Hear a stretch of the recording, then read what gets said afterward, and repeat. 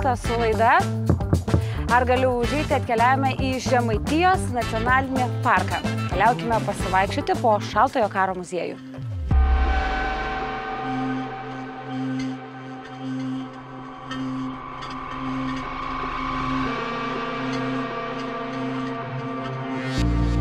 Sveiki. Sveiki, sveiki. Ar galim užeiti, ar galit parodyti, kokį Žinoma. muziejų čia turite? Galim, keliaujam, parodysiu.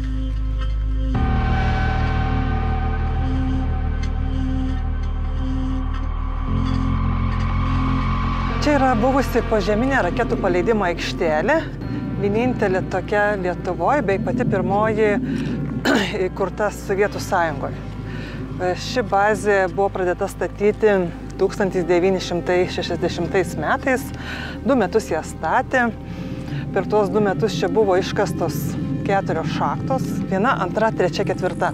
Šaktų gylis buvo 30 metrų ir tuo metu į kiekvieną šaktą buvo patalpinta po vieną R12 tipo branduolinę raketą.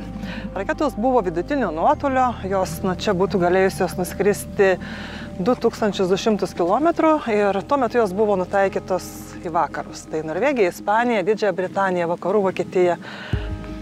Ši bazė egzistavo 16 metų ir per tuos 16 metų iš čia nei karto, nei viena raketa nebuvo paleista. Vienintelį kartą 68 metais per įvykius Čekoslovakijoje, kai buvo Prahos pavasaris, iš čia buvo pasiruošę paleisti raketas, tai bazėje visą mėnesį buvo paskelbta čia kovinė parengtis, laukia tik nurodymų iš Maskvos jas paleisti. Man yra tekę skaityti, kad e, tik dalis to, kas buvo, yra išlikę, nes na, kurį laiką čia nei muziejus buvo įkurtas, čia tiesiog buvo likusi tokia neprižiūrima ta bazė. E, Kai sovietai pasitraukė iš čia 78 metais, e, po to dar metus kareiviai čia saugojo viską, bet 79 jie viską čia paliko, likimo valiai, visą įrangą. Tik paėmė raketas, išvežė, sunaikino, raketinį kūrą paėmė, o visa kitka buvo palikta likimo valiai. Tai apie 10 metų šis objektas kaip ir nesaugomas buvo. Tai vedami smalsumo čia toj pradėjo lysti vietiniai, žiūrėti, kas čia buvo, kas čia liko. Ir įlindę žemaičiai pamatė, kad čia visko labai daug gero liko įvairiausių variklių, laidų, kabelių, e, spalvotų, nespalvotų metalo. Tai jie čia dieną naktį darbavosi, kol viską išpjausti, išnešė, išvežė, praktiškai niekur nebeliko. Norint paleisti raketą, va, tas visas kupolas, kaip jūs matot, jis turėjo nuvažiuoti. Tai yra galingų variklių pagalba, su trosais tas visas kupolas. Visas kuris- šitas betoninis kuris- kupolas.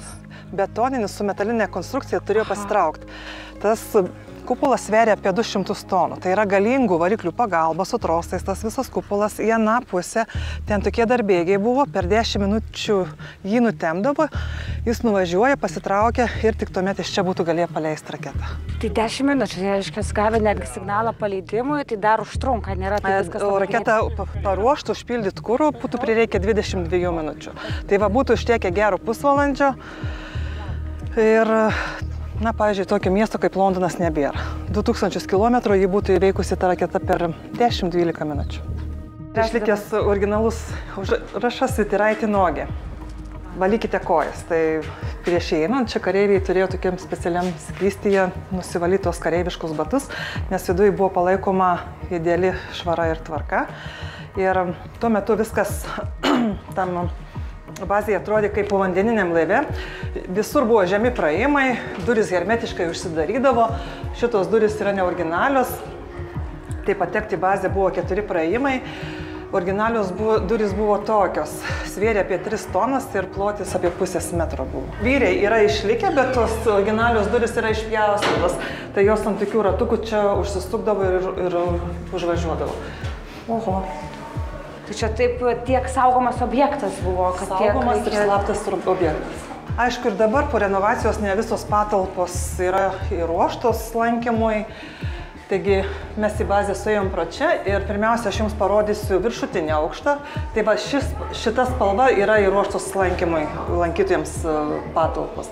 Nus, po to nusileisim į apatinį aukštą, čia visur aš jūs pavedžiosiu, papasakosiu ir nuvesiu į vieną iš tų keturių šaktų, nes kitos yra avarinės būklės, ten mm, negalima patekti ir atgal nebegrįšim, išvesiu pro avarinį išėjimą. Tai kiek čia yra aukštų po žemę? Valdymo punktas yra per du aukštus, tas komandnai punkt, ir keturios šaktos, kuri yra lankoma dabar tik e, viena. Jos visos buvo identiškai vienodos. Tai du aukštai žemė, jeigu per du aukštus, tai Šakta 30 m gylio, šaktoje buvo 6 aukštai. šeši aukštai Taip, bet mes aišku į tą pačią apačią nesileisimės. Iš viršaus matysim 30 m gylio duobę, ten, kur kažkada stovėjo brandulinis ginklas. Tai keliaujam. Matau, kad čia tikrai kažkas saugojo, dar turbūt nuolat būdė turėdavo kažkas tokiam objekte. E, Pamainom būdėdavo, pamainoj buvo 22 kareiviai ir 9 karininkai ir jie keisdavosi mm, kas 6 valandas. 6 valandas dirbo po žemę, 6 ant žemės. Ir dar mato, čia yra tokie užrašai išlikę. Ne bet kas ir ne bet kada užeisi į, ba į bazę. O čia rusiškai vazmy žeton parašyta, tai yra paimk žetoną, tai su specialiu leidimu kareivis turėjau, galėjau užeiti į bazę, kad būtų žinoma, kiek viduje yra užėjusių kareivių ir karininkų, o išeinant pavies, pakabink.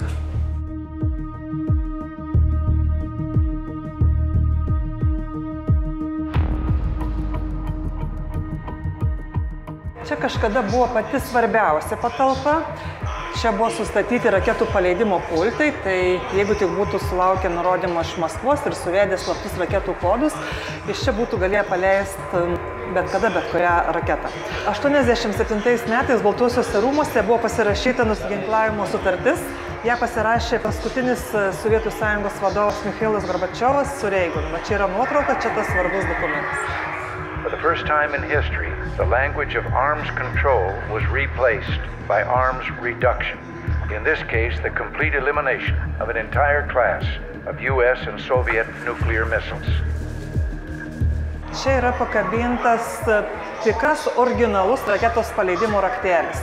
Taigi būtų užtekę tokio nedidelio raktelio, jį pasukt, suves dar tuos slaptus raketų paleidimo kodus ir iš čia būtų galėję paleisti bet kada, bet kurią raketą. Tie kodai, apie kuriuos jūs sakote, kad reikėjo dar suvesti, tai turėjo labai labai mažas kiekis žmonių žinoti tą kodą. Tos kodus būtų gavę iš Maskvos tik ir paleidimo metu prie skirtingų pultų turėjo būti du karininkai, vienu metu suves tuos kodus ir tik tada būtų galėję paleisti raketą. Vienas žmogus to nebūtų galėjęs padaryti. Po nusiginklavimo raketos buvo vežamos, pjaustomos į metalų laužą, matom iš nuotraukų.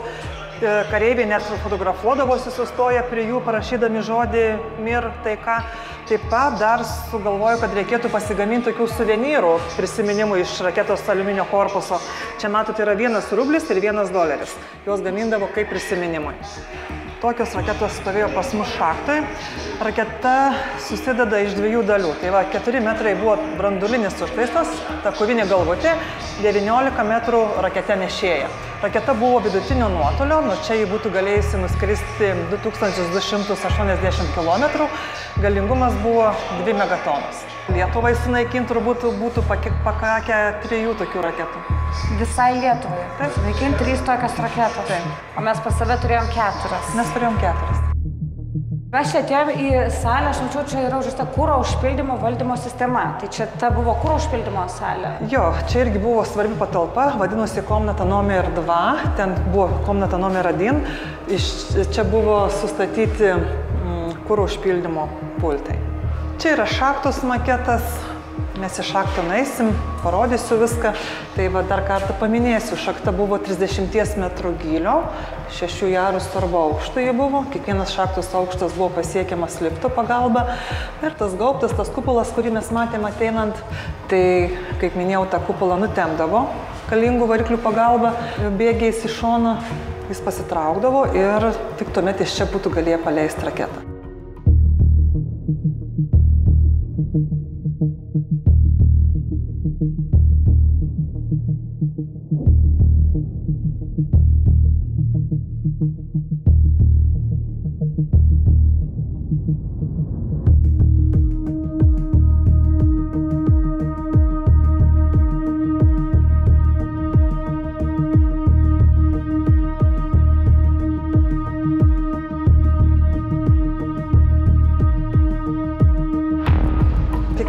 Raketoje buvo po tokį prietaisą, kuris vadinosi giroskopu. Panašiai kaip navigacija dabar. Tai tas prietaisas, jeigu raketa išskrido, tai jis neleisdavo jai nukrypti nuo skridimo kurso. Ir tuo metu raketos paklaida buvo tik nuo 1 iki 2 km.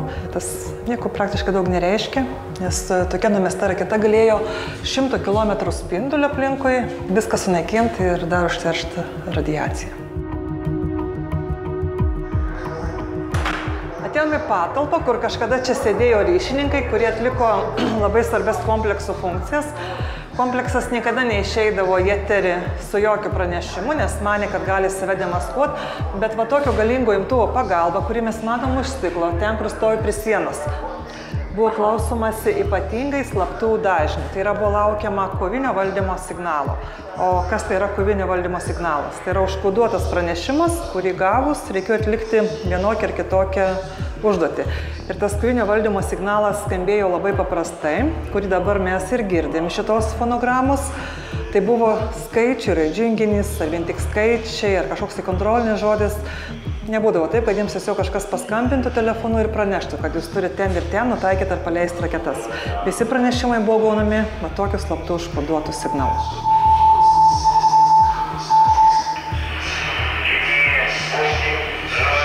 Jie tik užrašydavo ant telegramos lapo tą žinutę, kuri jiems ateina, perdoda vadui. E, vadas žinojo tą šifruotę, jis atkoduodavo ir žinodavo, ką reikia daryti, ar raketą užpildyti, kur, ar paleisti, ar visai nuimti nuo kovinio būdėjimo. Tai jie irgi čia nežinojo, jie tik gaudavo skaičius, jiem tas šifras irgi nebūdavo pasakytas. Ne, jie, jie nežinojo.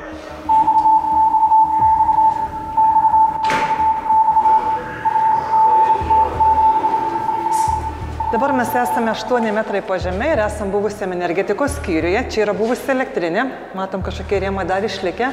Tuo metu praėjimas buvo kažkur tik pusantro metro. Čia nei lubų, nei sienų nesimatė, čia vien tik laidai ir kabeliai buvo.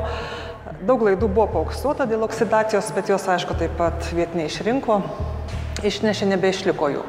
O dabar čia yra pristatoma civilinė gynyba, nes šaltojo karo metu civilius gyventojus reikėjo ruošti branduliniam sprogimui buvo kasamos ir daromos įvairiausios slėptuvės, čia rodo, kaip jas pasidaryti.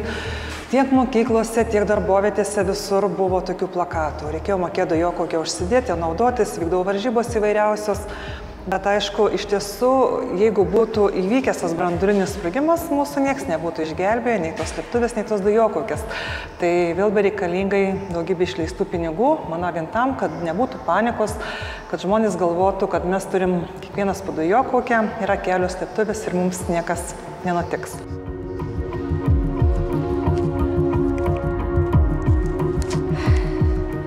Jeigu reikėtų ilgai išbūti, tai nėra malonu išbūti su tokia kaukė ir turėtų būti truputėlį tai reikėdavo kareiviams ir su oro filtru dar kažkiek tai kilometrų nubėgti, tai ne tik užsidėjus ją būtų, taip? Va čia už grotų, čia yra neįroštos patalpos, jos yra tuščios. Čia mes atėjom prie vienintelio išlikusio eksponato, prie dizelinio generatoriaus, kuris būtų galėjęs gaminti elektrą visai kariniai baziai. Jis buvo atsarginis, nes tuo metu elektrą jie turėjo autonominę, tai yra jie buvo atvesta iš karinio miestelio, bet jeigu kartais jiems būtų nutrūkęs tas elektros tiekimas, tai jie būtų ją pasigaminę patys. Jo galingumas buvo 830 kW per valandą, jis būdavo paleidžiamas tik per pratybas ir apmokymus. Ir kai jį čia paleisdavo, tai bazė aišku būdavo didžiulis, didžiulis triukšmas.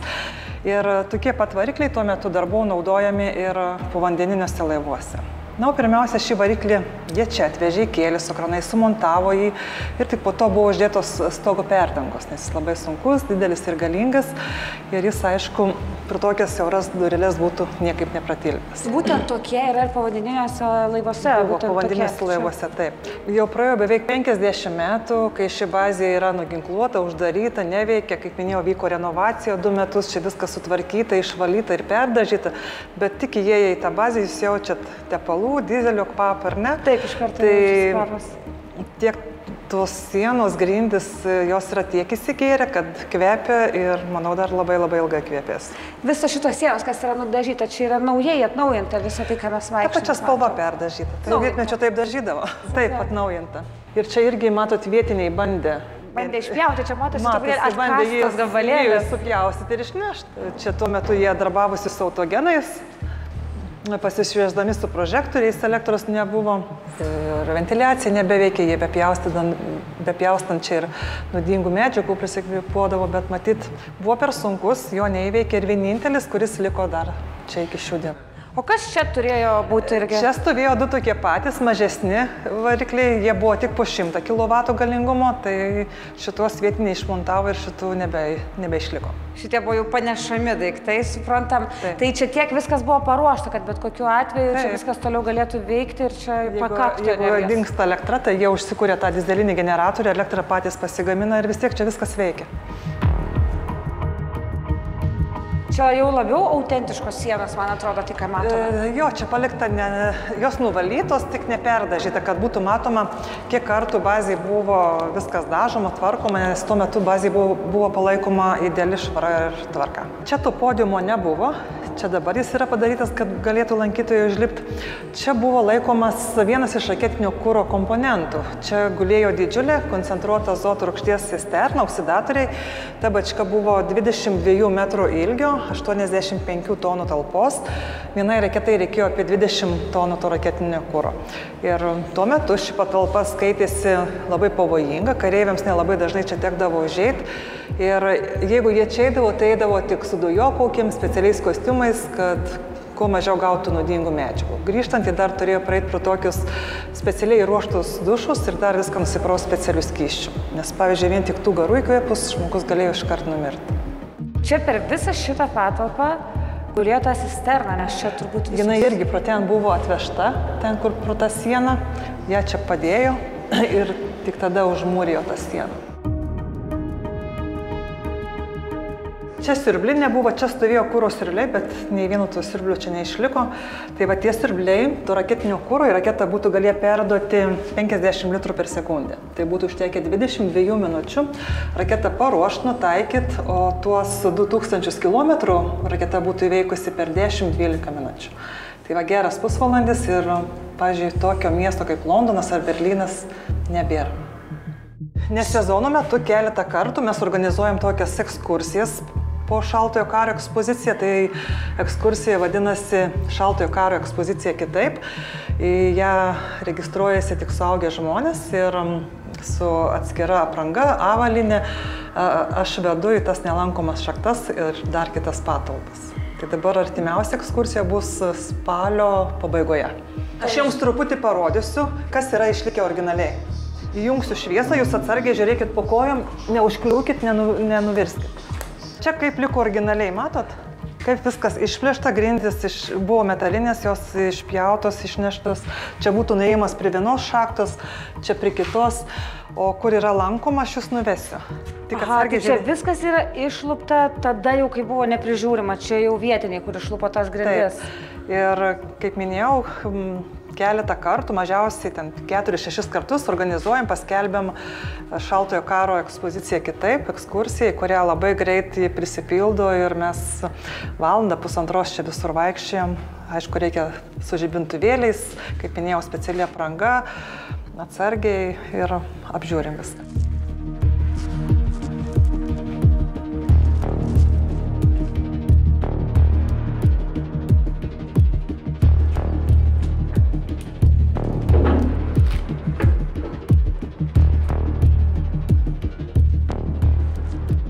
Čia tokios grindys buvo tenai? Taip. Tai va tokius metalus visi išpjaustė. Taip, dėl metalų viską išpjaustė. Čia visur laidai kabeliai buvo, buvo žemi siauri praėjimai, visos komunikacijos įvairios. Nebuvo taip patogiai paprastai čia vaikščioti. Va, ir, pažiūrėjau, tas koridorius, kurie dabar mes eisim iki šaktos, originalius grindys jos buvo čia.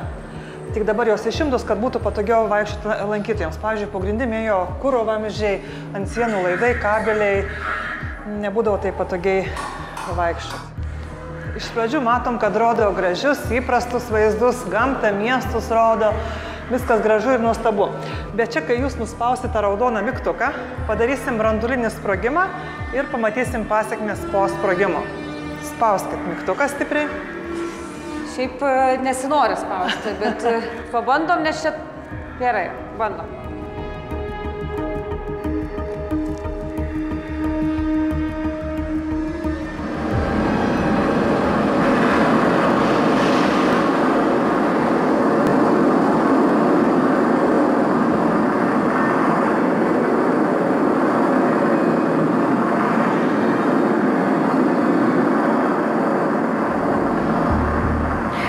Labai greitai. Tai va ir matot, kas būtų, jeigu būtų įvykęs brandulinis sprogimas, tai būtų visi miestai sugriauti, viskas užteršta radiacija ir mažiausiai šimtą metų tokie miestai niekas negalėtų gyventi. Čia kažkas sako, čia kažkokios komandos. Komandos kažkokios ir galėjo būti duodamas. Raketos nutaikymas. Ką paleisti, ką padaryti. Čia toks variklis, kuris tą kupolą nutemdavo iš šono, jis dar irgi išlikęs. Čia to kupolo nutempimo iš šono variklis. Mechanizmas, taip. Jis su trosais būdavo prijungtas prie šaktos, kupolo ir tą kupolą prikeldavo truputį į viršų ir per 10 minučių nutemdavo. Bet šito irgi neišardė, ne, ne, ne išsuko, neišpjaustė. Šitas irgi dar liko taip. Jeigu jau man reikia pasilenkti vaikštant, tai vyram čia reikėdavo irgi nemažai pasilenkti. Taip. Daugiausiai tarnaut e, būdavo vežami kareivukai iš vidurinės Azijos. Viskam vadovavo rusų tautybės aukšto rangų karininkai, atrinkti patys geriausi ir gabiausi po specialių apmokymų. O čia jums noriu parodyti originalų įlindimą į šaktą. Galite ir jūs pabandyti įlysti, kaip lyzdavo kareiviai.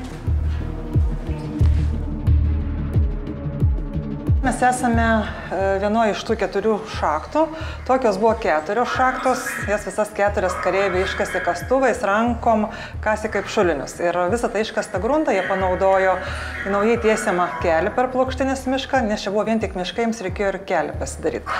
Šachtos gylis 30 metrų ir čia stovėjo 23 metrų aukščio branduolinė raketa. Šachtui buvo šeši aukštai, kiekvienas šachtos aukštas buvo pasiekiamas lifto pagalba.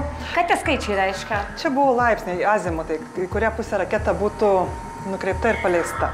Ten, jeigu matosi, pačioje apačioje dar yra įstrigęs ir raketos paleidimo stalas, kur raketa būdavo įmontuojama. Tai nuo to paleidimo stalo raketa atsiplėždavo per 4 sekundės ir per tas 4 sekundės jį iškart netekdavo vienos tonos raketinio kūro. Su kūru raketa svėrė 42 tonas, be kūrų 5, tai didžiąją dalį užėmė kūras. Tai jeigu ten, e, dar grįžtant prie tų skaičių, jeigu čia yra laipsniai, tai pagal juos pakreipdavo kryptį kažkokią E, raketą. Jo, raketa būdavo pagal optinius prietaisus, geodesinius prietaisus, kuo tiksliau nutaikoma į tikslą. Žinau, kad 200 laipsnių būtų nutaikyti į Ispaniją. Tai jums po kojų irgi būtų ją pačia 30 m gylio griovys, kuris buvo skirtas paleidimo metu aušinimui. Tai iki platelių ežero buvo, buvo pastatyta e, vandens perpumpavimo stotis ir kad čia paleidimo metu niekas neišdegtų, būtų buvęs imamas vanduo iš platelių ežero e, šaktos aušinimui. Taigi galim pasakyti žinau, kad mes visai netoli platelių ežero Už, esame. už dviejų su pusę kilometro. Tai nėra turbūt labai. Nelabai toli.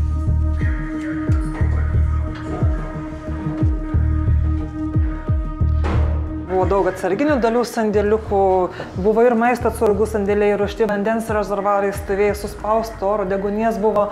Tai pavyzdžiui, jeigu būtų ant žemės įvykęs kažkoks tai cheminis ar biologinis užterštumas, jie pasislėpę, dar čia būtų galėję išgyventi apie tris paras. Apie tris paras. O kiek žmonių galėtų čia būti dabar tris paras? Na, čia galėjo būti ir keli šimtai jau. Tai daug. Ir mes čia, kaip einam, čia toksai, to, tokia forma, kaip e, leidžiasi, tai iki... Todėl nuo taip čia nuožulniai ta šakta ir ta- padaryta, kad paleidimo metu išeitiem karštiem dūmam.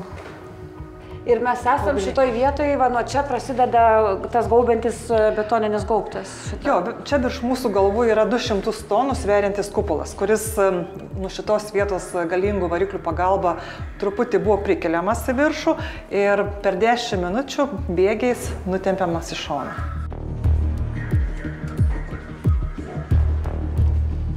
Ačiū, kad parodėte, kaip viskas atrodo čia iš vidaus ir iš tiesų ir įdomu, ir šiek tiek ir net nejauku, galėčiau pasakyti, čia vaikščioti. Ačiū Jums, malonu, kad apsilankėte mūsų muziejai.